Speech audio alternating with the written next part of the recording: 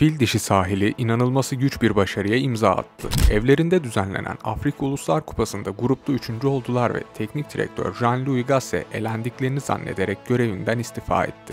Hikaye tam da burada başlıyor. Fil dişi sahili en iyi üçüncüler arasına girmiş ve elenmemişti. Yardımcı antrenör Emer Sfaye yeni teknik direktör oldu, gerisini tarih yazdı. Fil dişi sahili, Senegal, Mali, Demokratik Kongo ve son olarak finalde Nijerya'yı yenerek futbol tarihinin en büyüleyici şampiyonluk hikayelerinden birini evinin sahibi oldu.